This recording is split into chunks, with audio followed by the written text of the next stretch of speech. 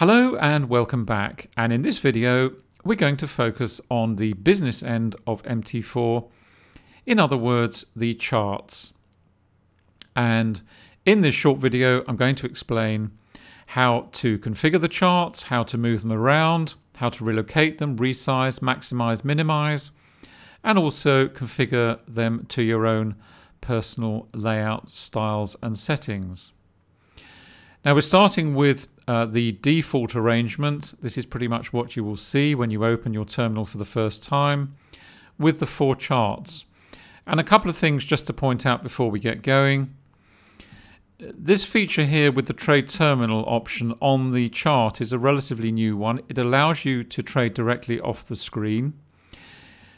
If you don't want this displayed, you have a little arrow here. If you just click on that, it will be removed. You'll still see it's there, the little down arrow. If you want to show the trade panel, you literally click it on.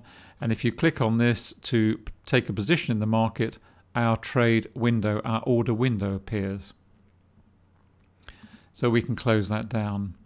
So if you don't want this on the screen, you literally hide it in that way there with the little toggle arrow. So they've all now gone off our default charts. Now just one other thing to show you before we actually go down to the charts themselves, and I'm going to reduce these down to two charts rather than work with four. If we go up to view in our navigation, You'll see here we've got two options ticked. We've got the status bar ticked and we've got the charts bar ticked. Now down at the bottom of the screen, if we untick those, that takes that off. And if we untick the status bar, the status bar will also go. And you can see it gives us a little bit more space on the screen. And if we use our tiling feature, there we go, the charts are now full size on the screen available. If we go back to view, we can click these back on again. Our charts bar gives us the option to move around our charts. You'll see here we've got a little tab appears with the charts that are available on this particular workspace. So we have four here. We've got the pound dollar, we've got the dollar CAD, the dollar Swiss, and the Aussie dollar. And if you click on those, that will make that particular chart the active one and appear knocked back in the tab arrangement. And if we want to view our status, then we simply go up here and click our status bar and that will display the status at the bottom of the screen. So let's remove a couple of charts and take this down to two and we'll then go through some of the configurations and how to move charts around on the workspace. Now to maximize, minimize or reduce any chart you have three options here. You have a minimize button, you have a maximize button and you have a close button. So if we want to remove these, we'll simply click on that. We'll take this one away as well. And these are the two charts that we're going to work with just for this particular video. And all we do to resize those to our workspace, click on the tile button, and there we are, they're retiled into the workspace. Now, as always with MT4, there's more than one way to get at the properties for your chart. You can either go up here to Charts, scroll down to the bottom, to Properties, that appears in the window there. Close that down. Or alternatively, you can right click on the chart itself. And if we right click, again, you'll see we have properties at the bottom, which opens the same window. Within the properties, there are various options. You have some standard options already available. You have yellow on black and you'll see it changes in the window. You've got green on black, which is often the default, or you've got black on white. So let's go back to our green on black option. Uh, these are very personal preferences. Uh, I like a black background personally. The foreground, this will be your axis, your data axis, so that needs to be white if you're working with a black background. Um, this is if you have the grid on or off. So let's do that now. Again, personally, I like to take the grid off. If you click on the Common tab here, scroll down here, you'll see that show grid is ticked. So if we untick that and click OK, our grid is now removed from our active chart. Let's right click again. We go to properties. Go back to our colors. Let's change this to uh, something fairly con conventional. Bar up, let's go for Dodger Blue. And you can see every time you make a change, it appears in the little window alongside. Bar down, we'll go for red. The bull candle, this will then give you a solid candle. We'll do Dodger Blue again. And the bear candle, we'll do in uh, red again. We'll change this to blue. That's just for line. And there we are. We'll leave the rest of them as they are. If we click OK on that, there we are.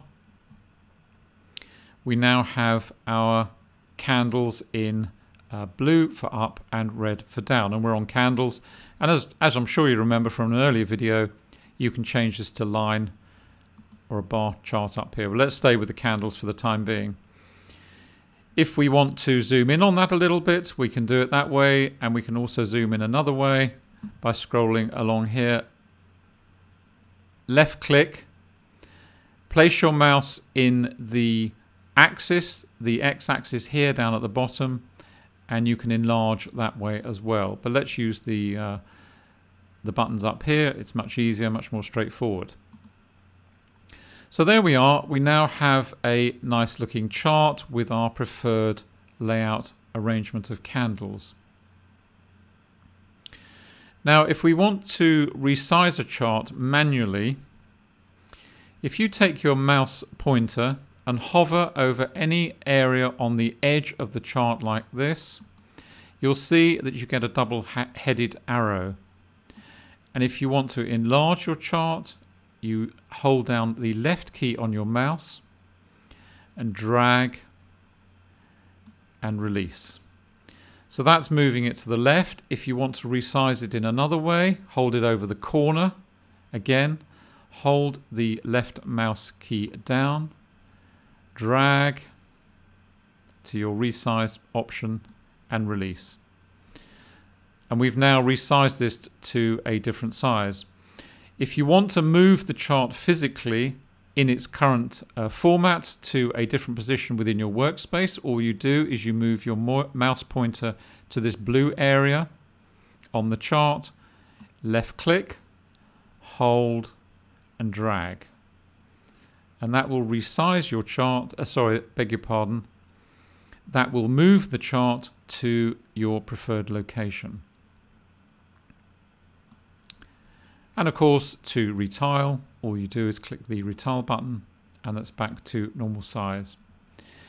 If you want to minimize a chart off the screen, you literally click the minimize button and it appears down here. And to bring it back again, that will bring it up to maximum size. And then to resize it to your tile arrangement again, just tile the windows and you're back to your starting point. So that's how to manage and also uh, configure your charts to your preferred settings. And then of course, you want to add an indicator to the chart. So let's just do this on one chart now. I'm going to get rid of this chart over on the right. So we're just going to close that chart down. We'll maximize this chart there we go. And the next thing we want to do is add an indicator and I'll show you how to resize and also configure the indicators uh, in terms of the arrangement on the chart itself and particularly with regard to the CSI. We go into view, we go into navigator, left click on indicators, left click on quantum, and let's drag our CSI indicator onto our chart. Now I'm going to do a separate video on the inputs. I just want to show you something with regard to the charting here. So if we click on that, and we'll close off the navigator. Now we've got the CSI on the chart. You can see here that it looks a little bit odd at the moment. It's a little bit squashed and we really want to resize this to make it uh, to take up less space and also make it easier to read for our trading. Now whenever you apply an indicator to a chart you will get a region like this which differentiates the boundary between the indicator and the chart itself. And as you'll see, when you hover your mouse over that particular boundary, it comes up with these two little parallel lines and the little arrow up and down. And again, this is exactly the same principle as we were showing earlier with the charts. If you left click on your mouse, hold it down, and just drag that up to the top of the screen, and there we are and now we've got a full size CSI and if we want to move that over a little we can click on here and again if you hover over the edge of the chart we can just move it over like that and resize it accordingly. I'm holding the left mouse key on the uh, mouse down and I'm just sliding this back and forth to resize. And if you move up here to the top, this boundary you can see here, you can resize that if you wish. And that's pretty much how many traders will use this to one side and then they will open another chart. Let's just do that. Let's get a new chart. So we'll go File, New Chart. Let's go for the pound dollar. We're going to drag this over here. We're holding the left key on our mouse down. We're going to drop it in there and then we're going to drag it over manually to resize it like that. We're still holding our left key down. There we are. That's now resized. We're going to right click, go to our properties. Let's change the background on this one to black. We need to change our foreground to white, otherwise we're not going to see any data. There we go. We'll take our grid off. We don't want to show the grid. We'll go into our colors, bar up on, uh, let's go Dodger Blue again, bar down on red, bull candle, Dodger Blue, bear candle, red. There we go. The line graph we'll leave on, uh, on black this time. And there we go. And we'll just expand that up a little bit with our zoom. And there we are. And we'll change the time frame just to complete. Let's change this to a five minute chart. There we are. And let's just put one more indicator on the chart. So let's put uh, volume on, for example, this time. We'll go up to view, go to our navigator. Let's drag our tick volume on, release. There we go. Close down our navigator. And again, as you can see, as I explained on the CSI installation, here we are again. We've got this boundary between the indicator and the chart. And you literally hover your pointer over that region. The little parallel lines come up with a little arrow top and bottom. Hold down your left click on your mouse. Drag to your preferred size and release. And there we are. So I hope you've enjoyed this video. That's covered some of the basics of charting and how to configure your charts to your own personal styles and also some of the tips and tricks to move things around the screen and to resize, particularly when you're applying indicators to the charts themselves. So thanks for watching and see you soon and bye for now.